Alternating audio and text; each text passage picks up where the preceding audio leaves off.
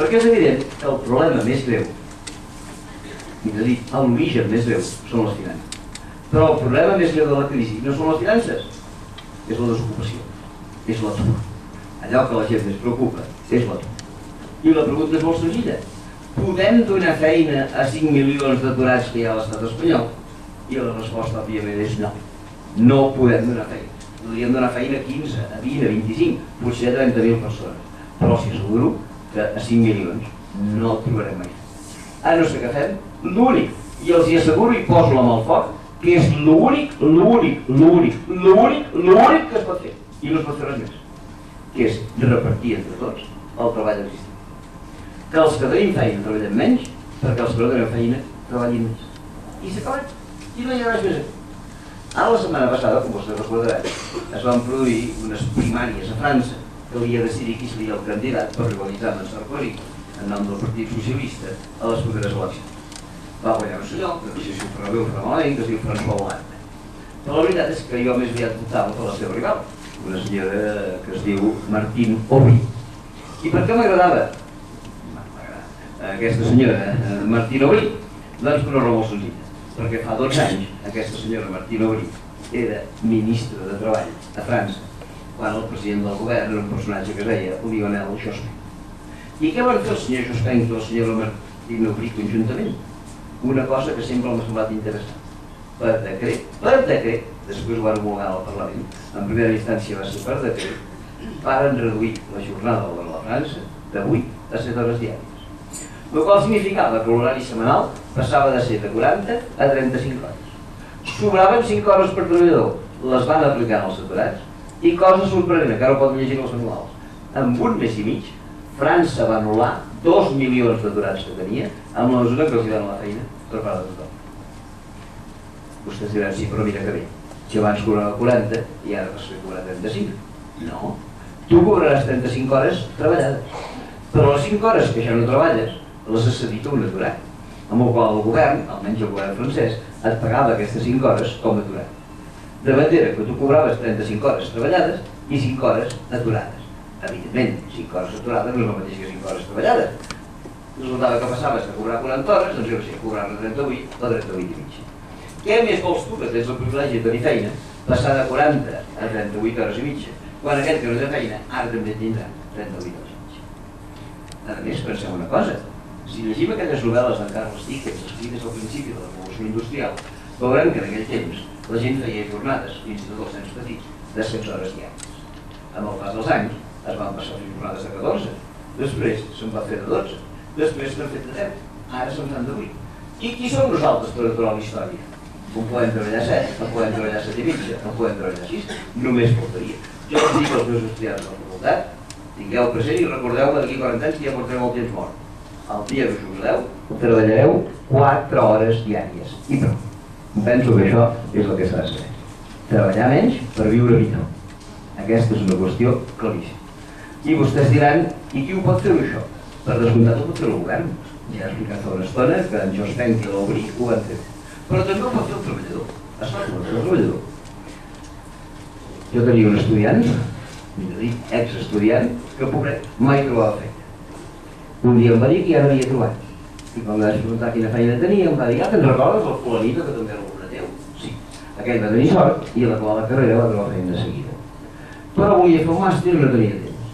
Van a veure l'amo i li va dir, escolta, què ens podem repetir la jornada? Mitja jornada ell, mitja jornada jo. L'amo, cosa curiosa, va dir que sí. I ara ell fa mitja jornada i pot fer el seu màster, jo que tenia cap feina, puc tenir ingressos de mitja.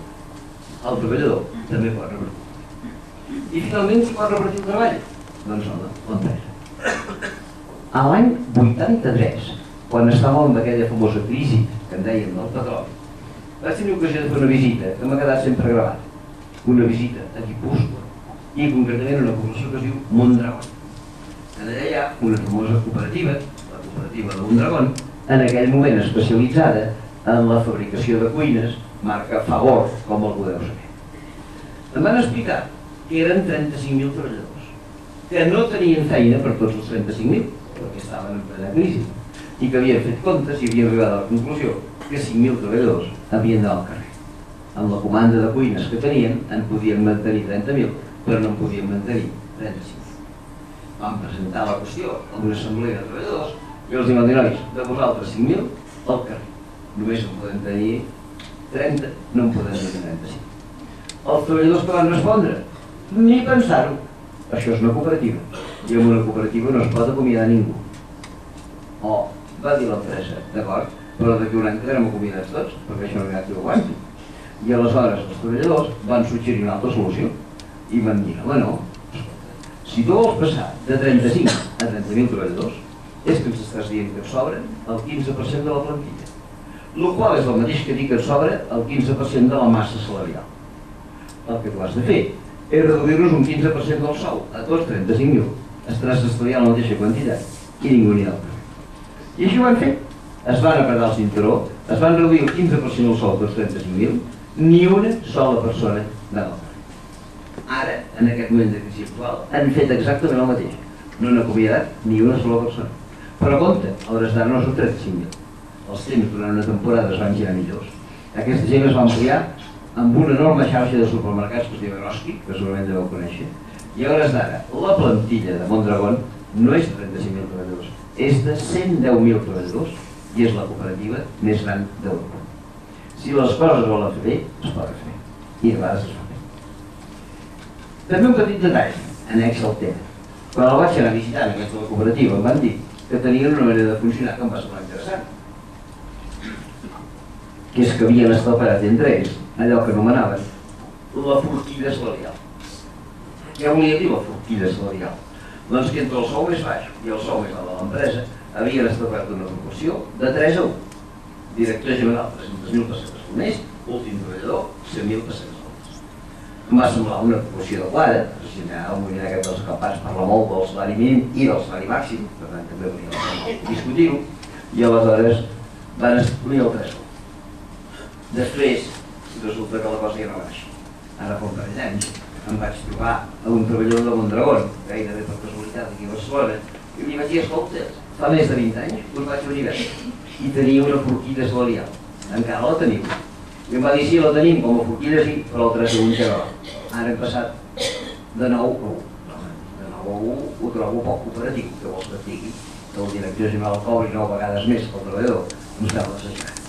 I em vaig disgustar una mica, però tan sols una mica, perquè just per aquells dies havia fet FIG als Estats Units, la més gran empresa de fabricació de cotxes del món, que com saben es diu General Motors.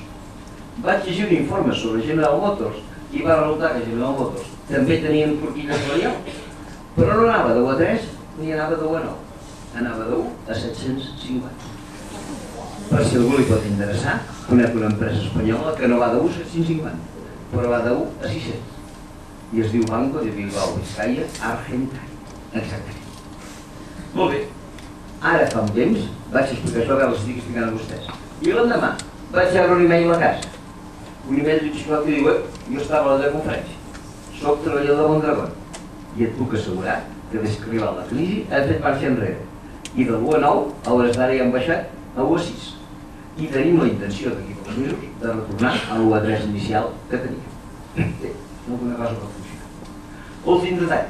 Quan aquesta empresa General Motors va fer figa, resulta que el govern americà no va admetre que la més gran empresa fabricadora de cotxes del món tenís. Li va semblar massa gran. I una cosa que el govern americà no acostuma a fer, que és subvencionar empreses, en aquest cas ho va fer. I li va donar General Motors per salvar-la 50.000 milions de dòlars, el mateix que es necessita per eliminar la fam del món durant res. Li van donar. Però aleshores el govern americà va dir, mira, jo li he donat 50.000 milions de dòlars en aquesta empresa. Però no m'ho vaig jugar. El govern americà no té per costum quedar-se empreses. Però el que sí que farem és deixar una mena d'equip de supervisió que vigili aquesta empresa, que no vagi malament i que no torni a acabar amb les hores de I aleshores vam buscar una empresa d'aquestes als Estats Units, les empreses de management, les empreses de direcció d'empreses, que vigilés a General Motors. I van crear una empresa americana de management que és bastant coneguda, una empresa que es diu Carlyle, escrit Carlyle. Segurament a vostès el nom de Carlyle no els direu dir res, però la coneixen tots perfectament, perquè té una filial aquí a Barcelona que es diu A+, i que ens revisa el cotxe cada vegada que toca l'ITV. Doncs molt bé, A+, que abans era propietat d'Aigües de Barcelona, ara és propietat de Carlyle. I qui són els propietaris de Carlyle? Bastanta gent. però hi ha dos accionistes que em va fer gràcia, que són dos dels accionistes més destacats de l'empresa.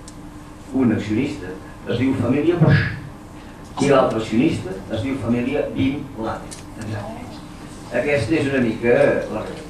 Per tant, sàpiguen que cada vegada que passen la ITV i paguen els 42 o 43 euros que penso que costa revisió, almenys 50 cèntims van agafant el Bush i 50 cèntims van agafant el Bin Laden